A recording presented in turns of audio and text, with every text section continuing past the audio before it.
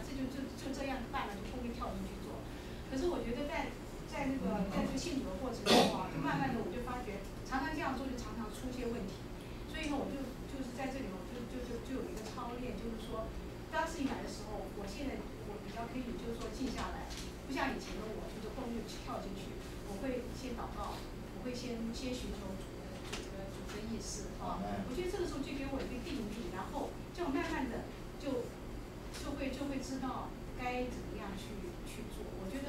做的时候也比较有平安，也比较，我觉得效果好像。我就是有时候觉得，我就我常常会讲一句话，我说我说主啊，你真的很奇妙哎！你叫我做的这个，好像我自己都从来梦都不会想到是是要这样子救的。所以我就觉得你越这样操练啊，像你这样做实验呢，不是说嗯，我不要我都不要想，主动你去帮我想。我觉得他不是这个意思。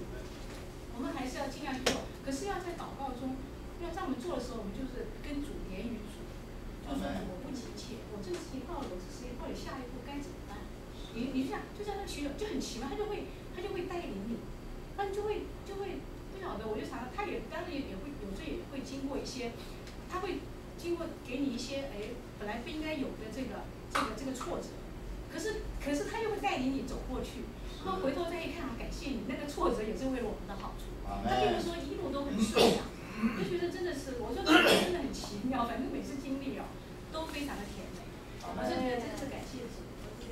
说他一定带我们挖我我要怎么样我说我现在要怎么样那就是这样怎么样。啊就像有的那我我我我是觉得就是说主有也主有他的时间是没有错我是觉得嗯真的就是对要对主有信就是我们信他在我们里面活。我们每天的生活还是要去还是要去还是要去想可是在我们想的时候我们就借着祷告祈求和感谢连于主。我们不要帮自己去想就要要求主跟我们一同一同来经历这件事情经历